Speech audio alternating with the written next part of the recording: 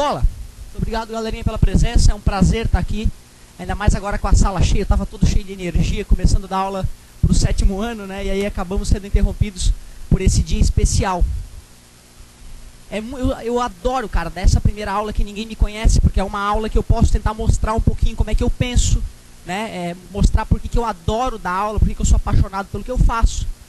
Em cada turma de vocês, né, quando a gente eu dou aula para o sétimo e oitavo anos, como eu escrevi ali, meu nome é Otávio, eu leciono matemática, o outro, o colega, também vai lecionar para vocês matemática.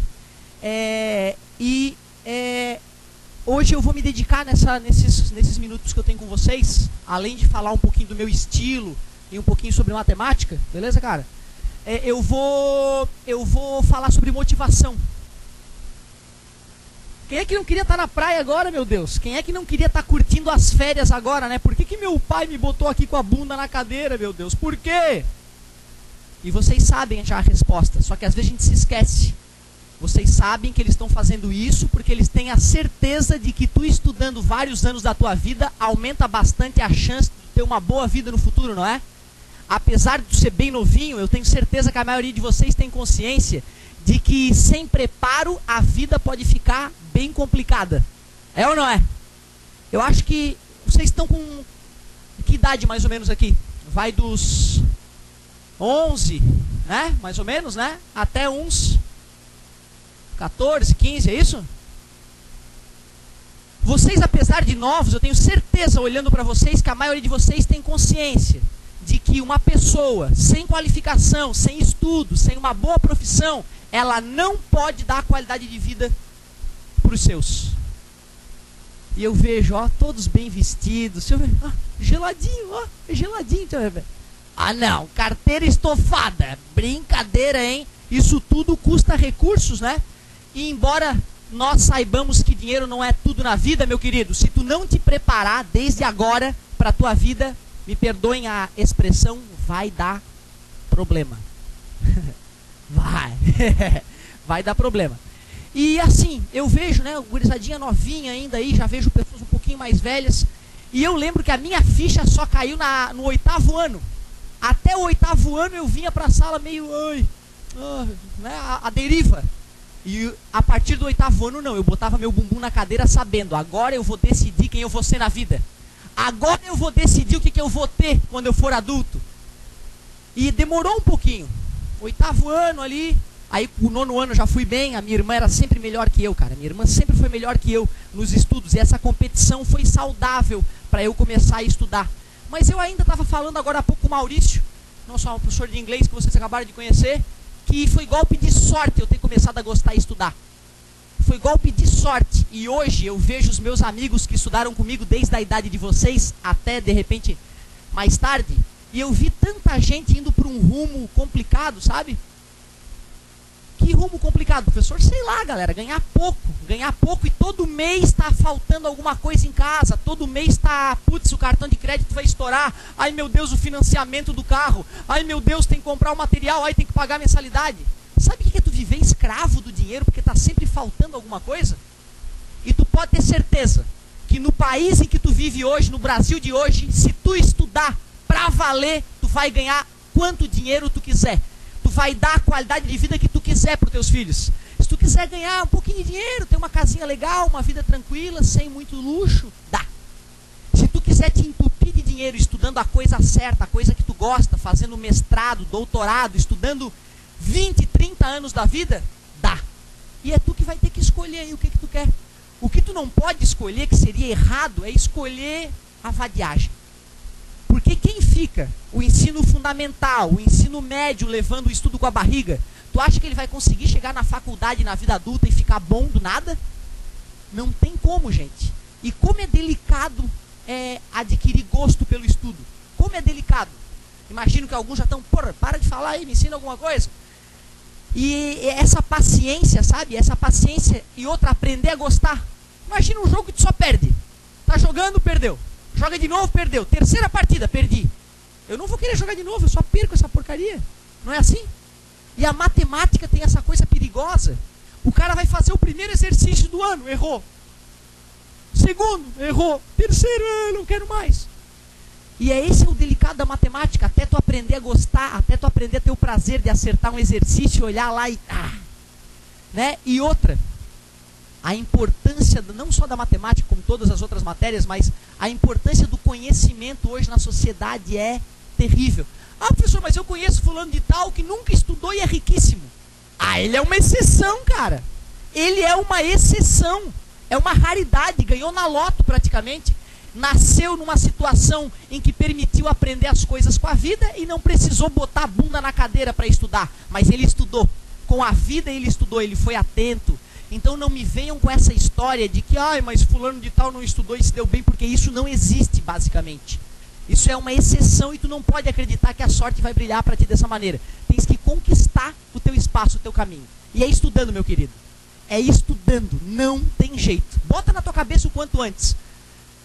Vais estudar muitos e muitos anos da tua vida, vais ter que ter um pouco de paciência. Sabe qual é o lado bom disso? Que para tu ficar bom nas matérias, tu não precisa estudar horas e horas por dia, basta fazer as tarefas, basta prestar atenção. Tranquilo, cara, o enquadramento está perfeito, brigadão. Fica tranquilo, parabéns, cara, pela tua atenção. Às vezes o pessoal fica cabreiro de encostar na câmera e avisar, mas tem que fazer como o colega fez. Avisou e eu vejo aqui pelo visor que está bem enquadradinho. Ô, professor, por que está gravando essa aula, meu Deus? Vocês conhecem isso aqui, ó? Ah, bobão. YouTube, vocês conhecem sim. Lá tem um canal. Ó, lá no YouTube tem aquela janelinha com uma lupa, já viram? Tem uma lupinha ali, não tem? Para que, que é essa lupa? Para pesquisar. Ah, é que minha lupa ficou feia, por isso que o amigo não percebeu. Olha ali, ó. Fazer em 3D agora minha lupa. Ah, credo, ficou pior. Tudo bem. Galera, olha só, lá no negocinho de procurar no YouTube, tu vai escrever o nome de um canal, que é o meu canal onde eu coloco esses vídeos. Hoje à noitinha esse vídeo já vai estar tá lá para vocês curtirem ele. De Otávio RC. T-H-E, né? Vocês conhecem essa palavra, né? Que língua é essa aqui mesmo? Ah, professor. De Otávio RC. O meu nome tem esse Czinho, né? Octávio, mas tu pode me chamar de Otávio mesmo, tá? Lá nesse canal eu coloco um mundo de aulas, não só da tua turma, mas de outras turmas também. A tua turma, né, no meu caso aqui é sétimo ano ou oitavo ano, os vídeos começam com 7A e 8A. Essa aula lá, por exemplo, estaria lá 2012, né? É o ano, não é isso? O mês 02, o dia 27. Que horas temos agora? Umas 16 horas? 4 e 10 e aí vai ter os segundos que estão lá na máquina, né? É assim, mas é isso aqui que te interessa, né, para tu achar o vídeo, né? Então depois que tu entrou no meu canal lá no YouTube, tu vai lá e digita 7A, vai vir todas as tuas aulas. Sim, tu vai poder assistir a tua primeira aula do ano no último dia de aula. Tu vai lá e assiste. Ai, não entendi, vou assistir pela milésima vez. Tu assiste, certo? Dá para ler o quadro bem legal. Então aquela história, ai, professor, pai, eu fui mal que o professor não passou. Não, não vai acontecer porque o teu pai vai assistir o vídeo. É, pai, né? O pai assiste, cara. Os pais assistem e vem, ah, professor, legal aquela aula. É, tu podia reforçar aquela parte que meu filho ainda está com dúvida. E aí eu vou lá e reforço aquela parte, né? Então é bacana essa parte, é isso que nos protege. Me protege de repente do pai estar confuso com o que está acontecendo ou não na escola, né? E te protege porque tu sempre vai ter o conteúdo para revisar de mês em mês, mais ou menos, eu peço para tu trazer um DVD virgem para quem quer uma qualidade melhor que a do YouTube. Ah, tá, tá ruim lá no YouTube, professor, eu quero melhor. Aí tu me traz um DVD virgem, custa um real ali na, na papelaria da esquina, né? E eu gravo para ti numa qualidade bem legal para poder assistir em casa no DVD, bota lá no DVD, assiste na televisão de 42 polegadas, show, né? Fala, querido. Como? Eu vou te confessar que a história do pendrive, para mim, é até mais rápido. Só que eu perdi uns três pendrive ano passado. Aí eu tive que pagar as pessoas que eu perdi o pendrive, né? E aí me deu um prejuízo, então o pendrive está cancelado. O cara traz um DVD virgem já bota o nome no DVD, né? Que aí eu não vou brincar de frisbee na praia nem nada disso. Certo? Beleza? Show de bola. Boa pergunta, hein? Boa colocação do colega. Fiquem à vontade, aliás, para interagir, tá? Para perguntar. Voltando à história da motivação. Eu, uma hora da minha vida, percebi, né? Lá, lá pelo oitavo ano. Lá pelo oitavo ano. Quantos anos tem as pessoas que estão no oitavo ano, mais ou menos? 13 anos, obrigado, amigo. Eu estou lá com os 13 anos, eu me toquei, caramba, se eu não estudar, vou me ferrar. Se eu não estudar, eu não vou poder alimentar o meu filho direito. Eu não vou poder ter uma casa legal para morar. Talvez eu não possa ter carro. Meu Deus, como é que eu vou sobreviver sem carro? Foi mais ou menos isso, de certa forma, novinho, que comecei a me preocupar e ver, caramba, se eu não estudar. O bacana, cara, é que eu percebi que se eu fizesse as tarefas e corrigisse as tarefas, eu virava CDF. Sabe CDF, né? Certo? Aquele cara que só tira nota boa, que nunca se dá mal, né? O nerd, a galera chama de nerd hoje em dia, se bem que hoje em dia tu sabe que tem uma modinha de nerd, né? O cara bota um óculos diferente, finge que é nerd, mas as notas dele são ruins. Aí não é nerd, né? Nerd de verdade tira nota boa, certo? Aí vale a pena ser nerd de verdade. Então olha só, é, o cara que tira nota muito boa de repente, às vezes rola justamente isso, só o cara não curte a vida. O cara não, o cara só estuda, é mentira, hein? Pode ter certeza que é o contrário. O cara que se organiza, faz as tarefas, estuda um pouquinho, tira nota boa, porra, aí sim ele tá com a alma limpa com os pais, vai jogar o videogame dele na paz, vai curtir o futebol ou a dança, vai curtir o que for, sem ter o peso nas, na consciência de teu pai tá trabalhando para te estudar e tu jogando o dinheiro dele fora. Que é isso, né? Quando tu vem pra cá e não quer curtir uma aula, ou atrapalha a aula de alguém, tu tá rasgando o dinheiro do teu pai falando, papai, não te amo, papai. Tá trabalhando aí e eu tô rasgando o teu dinheiro aqui. É ou não é? É uma sacanagem com o pai de vocês, cara. Quando ele paga um super colégio para ti e tu perde essa oportunidade. Quantas crianças da tua idade gostariam de estar num colégio legal como esse e não tem essa oportunidade, não tem essa qualidade toda, né? Então o mínimo em respeito aos teus pais também, né? Mais um motivo, cara. Porra, eu tenho que fazer por merecer esse voto de confiança dos meus pais. Vocês já calcularam quantos vocês custam por ano? É bom nem pensar que dá uma dor no coração, cara. Né? Claro que o teu pai, ele faz esse investimento com o maior prazer do mundo. Mas tu não dá o retorno pro teu pai disso, é, eu, eu não ia conseguir dormir. Se eu, com o estudo que meu pai me deu e que minha mãe me deu, se eu não tivesse conseguido uma situação minimamente confortável para dar um Xbox pro meu filho, o Caio, para poder passear com ele nos finais de semana, pegar um bom restaurante, eu não ia ser feliz, cara. Sabendo que os meus pais me levavam para bons hotéis comer coisa boa. E aí agora meu filho, não, vamos comer um X ali na esquina. Porra, seria sacanagem, eu não ia ser feliz.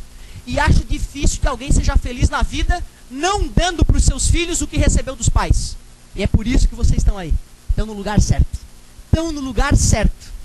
Se vocês estudarem um pouquinho todo santo dia, não é muito, gente, é 30 minutinhos por dia fora de sala de aula, tu vai ficar fera, bicho. Tu vai ficar fera, vai poder escolher a tua profissão. Quero ser engenheiro, quero ser né, é, tradutor, quero ser redator, quero ser cientista, quero trabalhar com biologia. Vais fazer a tua faculdade, de preferência numa faculdade gratuita, tipo a a, a UFSC, olha que palavra bonita, a UFSC, a UDESC, duas palavras que eu gosto muito. As duas melhores universidades da nossa região, principalmente porque são gratuitas e de alta qualidade. Porque pensa bem, é mensalidade de faculdade. Ah, a mais baratinha aí, sei lá, quinhentinho. Vezes 12, 6 mil reais. Vezes 5, 30 mil reais. Só em mensalidade. Pede um apartamento pro teu pai. Ô pai, faz um investimento num apartamento. Aí eu vou pra UFS, que tu não vai gastar nada. Né? Então, é, até isso tem que pensar. Eu não estou muito novo para decidir isso. É claro que não. Às vezes o pai trata vocês com tanto carinho que ele acha que tu não tem idade para decidir isso. É mentira. Tu já tá na idade de escolher o que, que tu quer, cara. Com certeza. Eu quero o quê? Bons restaurantes, viagem pelo mundo ou cachorro quente na esquina todo final de semana? É, é possível, alguns vão optar. Pior é essa a beleza da vida, cara. Alguns podem optar por menos. Tu vê, eu quero ser menos. Tá liberado. Olha que legal, mas tem que tirar sete em matemática. Galerinha, outra coisa que eu quero te falar que tem tudo a ver com motivação, e aí já vou puxar um pouquinho para nossa área, professor, para matemática. Porque eu não consigo me conformar, tu acredita, amigo, que tem gente que não gosta de matemática? Eu não consigo me conformar o cara que não gosta de matemática porque ele está meio ruim das ideias. E eu vou usar uma parte da aula de hoje para falar sobre isso também. Agora que eu já falei um pouquinho sobre quão é importante a situação na qual tu te encontra decidindo quem tu vai ser na vida, com tão pouca idade, em que responsabilidade. Quem diria que aos 11, 12, 13 anos de idade nós estamos escolhendo quem nós vamos ser? delicado isso. Eu não tinha maturidade para escolher, foi na sorte que eu escolhi estudar, bicho. E se não tivesse estudado, amigo, a minha vida ia ser feia. Fala, meu querido. Ótimo.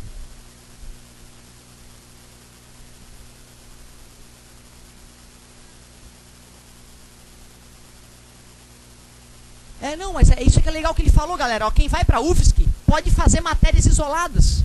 Por exemplo, eu estou fazendo medicina, mas eu queria tanto saber como é que é engenharia.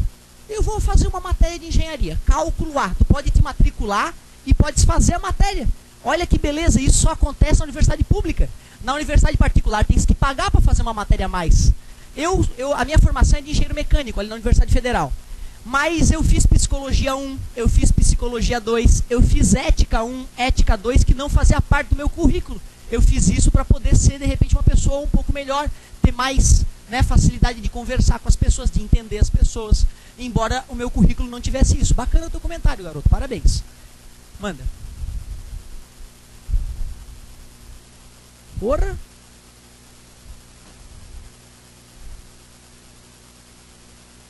Legal, uma boa engenharia essa. Galera, eu corto os videozinhos para que eles não fiquem longos, tá? Porque tu não vai ficar me vendo na internet mais do que 10 minutos, né? E para tu não encher o saco da minha cara.